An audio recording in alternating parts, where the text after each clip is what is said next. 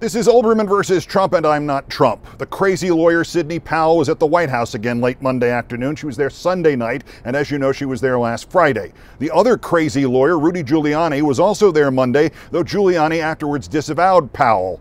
And per Politico, spotted in the West Wing, Representative elect Marjorie Taylor Greene of Georgia, the racist QAnon lady, and Congressman Jim Jordan, Mo Brooks, Andy Biggs, Louie Gohmert, Scott Perry, and Matt Gaetz, or as they are collectively known, living proof of Dunning Kruger syndrome.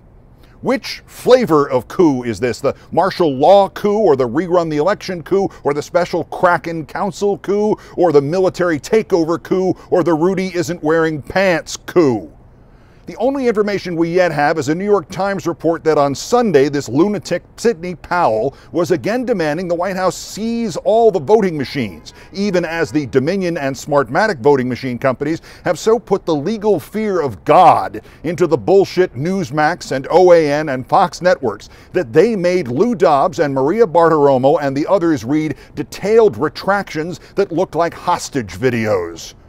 Regardless, no matter how much of this remains a Trump money scam, in his madness, Trump has come to believe he really won and is a martyr, and people as proactively stupid as Powell and Gaetz and the QAnon lady would not be hard to convince of this. Again, whatever Trump is planning, whatever Giuliani and Gaetz and Jordan and the other scum have signed on to, it is imperative that the president elect make a statement that these meetings are seditious that they constitute a conspiracy to overthrow the government, and that as of January 20th, the Justice Department will investigate and will prosecute them. Only fear works with bullies. It works well. Ask Lou Dobbs and Bartiromo and OAN. This is an attempted coup. It is treason.